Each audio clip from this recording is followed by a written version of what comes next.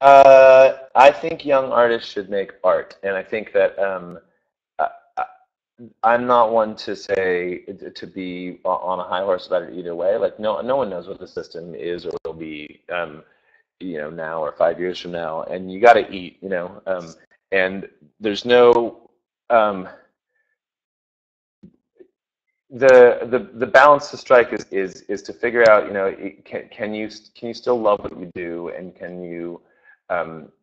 can you figure out ways to support it that aren't going to make you, you know, stay up at night and want to kill yourself?